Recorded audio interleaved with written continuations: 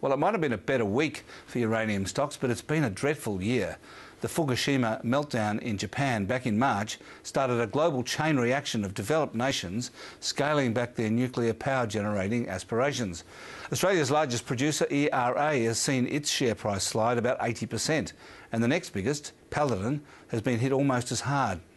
So, does the PM's personal crusade to overturn the ALP's ban on exporting uranium to India usher in a new era for the sector?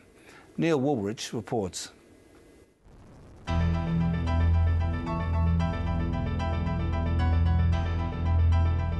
Selling uranium to India will be good for the Australian economy and good for Australian jobs.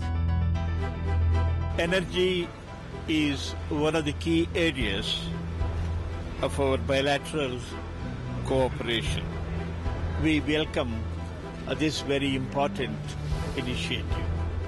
We are totally opposed to this idea of selling uranium to India because it undermines international law.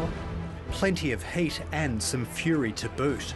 This week, Julia Gillard announced plans to allow uranium exports to India. If approved by the ALP National Conference, it would overturn a ban that Kevin Rudd imposed in 2008. I believe the time has come for the Labor Party to change this position.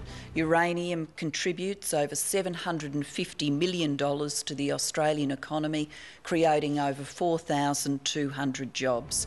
Julia Gillard's announcement sparked a flurry of activity in uranium stocks, with Peninsula Energy jumping 20% on Tuesday and a host of others posting sizable gains.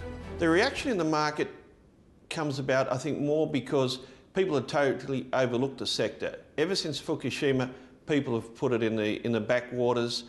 A lot of stocks have just been totally ignored and suddenly people looked at it and thought, well, there's still good economics in the sector, there's still good growth, there's still a good future. From an overseas perspective, uh, it does uh, create a, a much more favourable political view. Uh, internationally, uh, our international investors especially get quite confused by the Australian uranium politics, and uh, we're constantly explaining the, the arrangement. Um, but they certainly see this uh, as some smoothing of that political uh, arrangement. Greg Hall is Managing Director of Toro Energy, a uranium startup with permits to explore in South Australia, Western Australia, and Africa.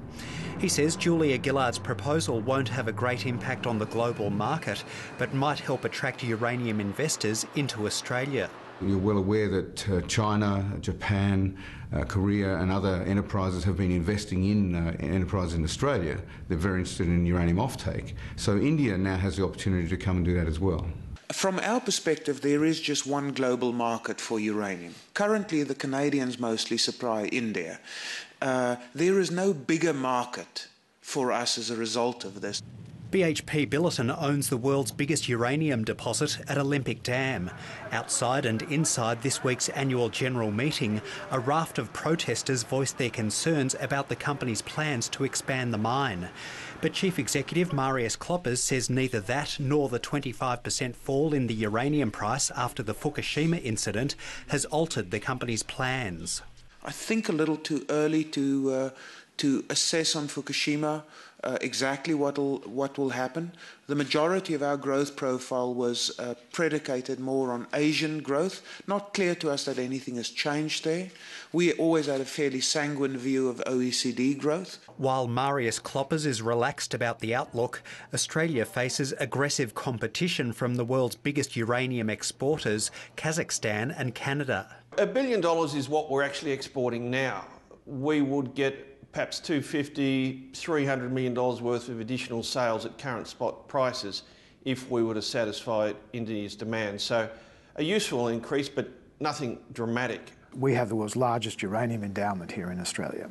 Uh, and if you compare our share of production as a ratio uh, of our share of uh, the world's resources and then compare that to other countries, what you find is that we are punching well below our weight.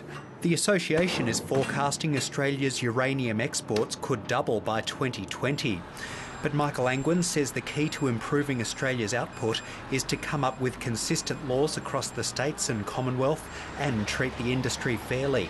I think we insist on being treated on merit. Uh, in accordance with environmental law just the same as any other commodity is. And provided we're, we're treated in that way and no artificial barriers or impediments are put in our way, then I believe we are capable of realising the potential that we have as, as the world's premier supplier of uranium. While the Fukushima meltdown has seen nuclear stalwarts like Germany and Switzerland look at alternative power sources over the longer term, there are signs the uranium market might be returning to more normal conditions, with the Japanese government eager to power up its idle reactors. So once that um, Japanese reactor restart occurs, you'll start to see the, the supply-demand fundamentals change. And indeed, there isn't a, a, it's quite tight supply-demand at the moment. There was a major purchase by uh, a Japanese enterprise trading group last week, which put the spot price up 8% just in one purchase. But whether there's an appetite for Australian yellowcake might depend on emerging economies holding their nerve on nuclear power at a time when hostility in the developed world continues to simmer.